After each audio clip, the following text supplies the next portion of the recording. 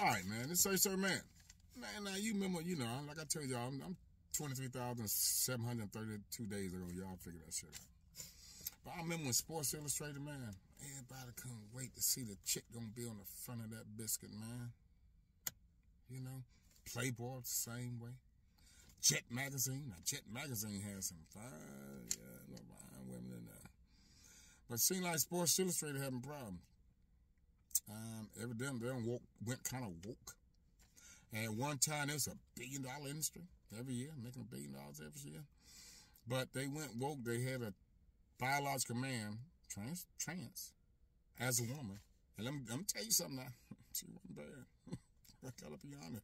She looked good. Looked just like a damn woman. And I saw them interview her. She sounded like one. Everything. But now they post another one up. She kind of full figure, but you could tell she was a dude. Now, this was Sports Illustrated with all these thousands and thousands and thousands of beautiful women out there. And they go to a transgender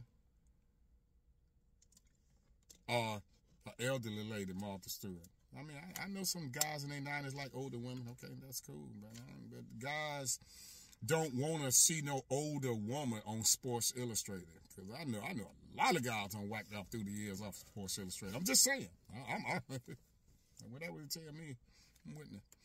But man, but do, do you remember the chick named Rachel? The one I talked about her before, the, the soccer chick. She said she got hurt.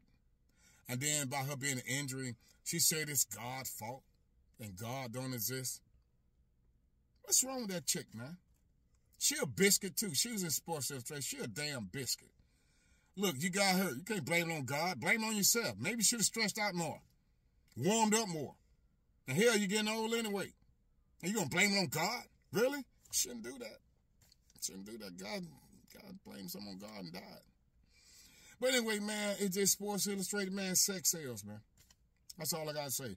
Don't no guy want to wait for a magazine to come out and the chick 80 something years old. I'm just saying. Now, y'all can leave a comment on this.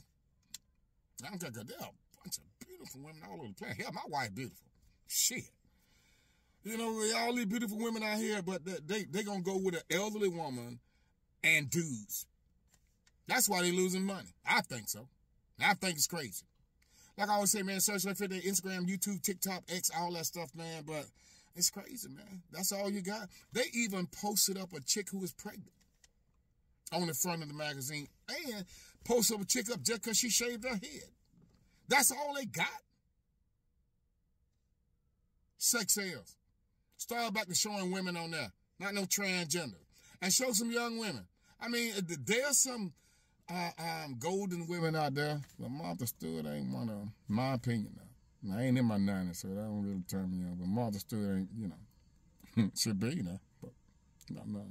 Like I always say, search that fit in everything, man. But it, it, just crazy, man. SR just, just just went down the tube, man. They, they, they fucked up. Search their opinion. Search their out.